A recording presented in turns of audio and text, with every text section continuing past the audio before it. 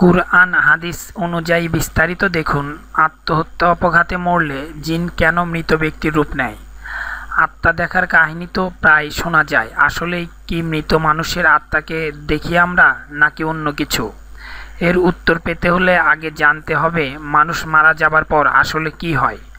মানুষ যখন মারা যায়, তখন তার শরীর থেকে রুহু বা আত্মাকে আল্লাহর নির্দেশে আজরাইল বা মৃত্যুর ফ্রেস্তা বের করে নিয়ে যান।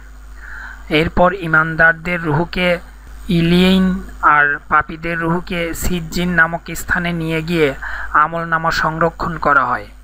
এরপর রুহুকে কবরে ফিরিয়ে দেওয়া হয় সওয়াল জবাবের জন্য। মৃত্যুর পরে এইভাবেই দুনিয়ার জীবন শেষ হয়ে আখিরাতের জীবন শুরু হয়। মৃত্যুর পর থেকে কিয়ামত ও হাসর দিবসের মধ্যবর্তী সময়টিকে বলা হয় বারজাক। মৃত্যুর পর আত্মার অবস্থান বারজাকেই হয়।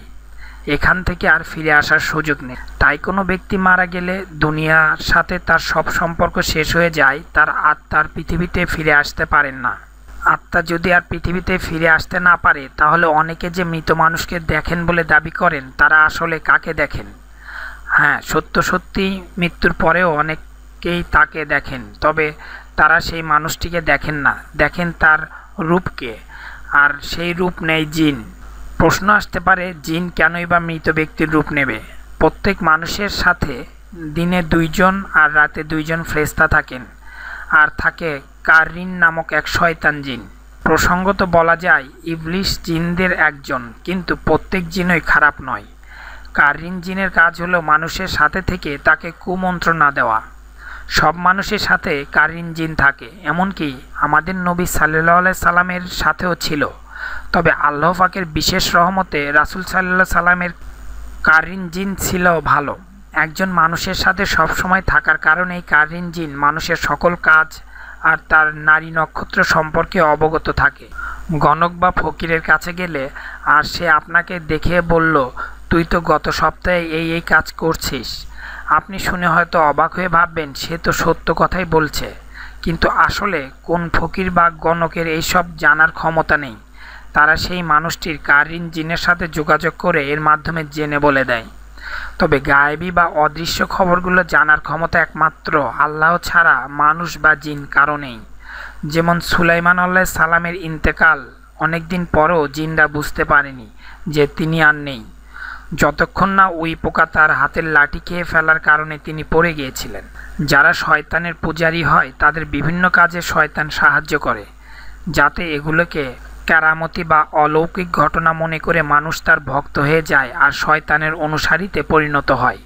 জিনদের অনেক বৈশিষ্ট্যের একটি বৈশিষ্ট্য হলো তারা মানুষ সহ যে কোনো প্রাণীর রূপ ধারণ করতে পারে। তাছাড়া অদৃশ্য থেকেও জিনরা বিভিন্ন কথা বলতে বা শব্দ করতে পারে।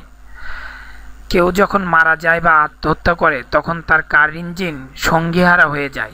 তখন সে মাঝে মাঝে মৃত ব্যক্তির রূপ নিয়ে চলাফেরা করে।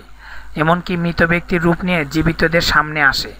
সে এমন সব কথা বলে বা তথ্য দেয়, মনে হবে যেন মৃত ব্যক্তি এসেছে। শুধু কারিন জিন নয়, মৃত ব্যক্তির রূপ নিয়ে অন্য কোনো জিন বা শয়তানও আসতে পারে। মোট কথা, তাদের সবার উদ্দেশ্য হলো মানুষকে কষ্ট দেওয়া, ভয় দেখানো, বিভ্রান্ত করা বা ইমানকে ভুল পথে নিয়ে যাওয়া। কোরআন হাদিস অনুযায়ী, মৃত ব্যক্তির আত্মা পৃথিবীতে ফিরে আসে না, এটা বিশ্বাস করাই হলো ইমান কিন্তু জিন বা শয়তান মানুষের মনে আত্মা ফিরে আসার ভুল ধারণা ঢুকিয়ে দেয়। তবে বাস্তবে মানুষ জিনকে খুব কমই দেখে। বেশিরভাগ সময় মানুষ ভুল দেখে বা কল্পনায় মৃত মানুষকে দেখে, যাকে হেলুসিনেশন বলে। মনে রাখতে হবে শয়তান বা জিন দুর্বল চিত্ত মানুষদেরকেই ভয় দেখায় বা তাদের উপর প্রভাব বিস্তার করে বেশি। এজন্য একমাত্র আল্লাহর উপরে দৃঢ় বিশ্বাস রেখে তারই সাহায্য চাওয়া জরুরি। আর সকাল সন্ধ্যায় সুরা ইকলাস সুরা ফালাক ও সুরা নাস তিনবার করে পড়ার জন্য বলা হয়েছে।